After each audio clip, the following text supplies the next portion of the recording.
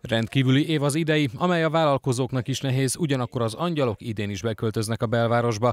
A Győri Bevásárló utcák alapítvány idén is megrendezi adománygyűjtő akcióját.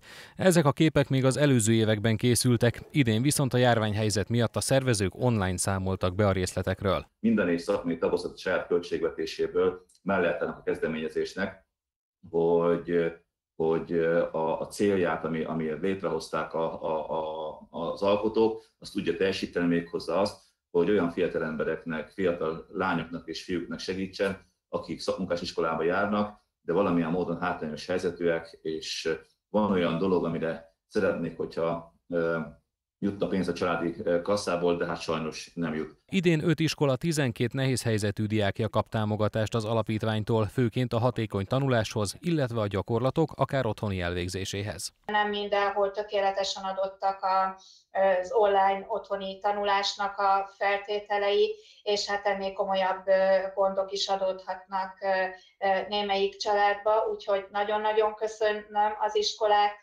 nevébe, a szakképzési centrum nevébe ezt a lehetőséget, hogy ennyi iskolánk és tanulónk részesülhet a ebből a támogatásból. A program keretében, amint a járványhelyzet engedi, gyűjtőperselyeket helyeznek el a kampányhoz csatlakozó üzletekben, a vásárlók ezekbe dobhatják majd be adományaikat, az üzlet pedig megköszönve a támogatást egy angyalka figurával ajándékozhatja meg a vásárlót.